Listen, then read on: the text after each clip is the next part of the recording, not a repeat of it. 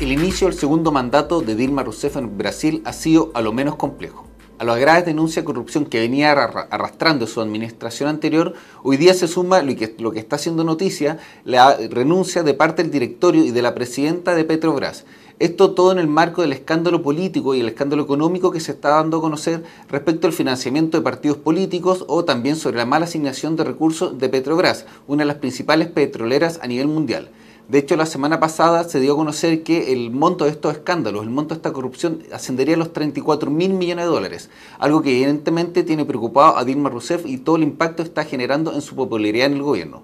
pero la renuncia al directorio algo está descomprimiendo la tensión que está sintiendo políticamente Dilma Rousseff. Pero es evidente que quiere terminar de buena manera su mandato los próximos cuatro años, las medidas que debe tomar, no solamente en Petrobras, sino en toda la corrupción que está asolando a este país, deben ser radicales.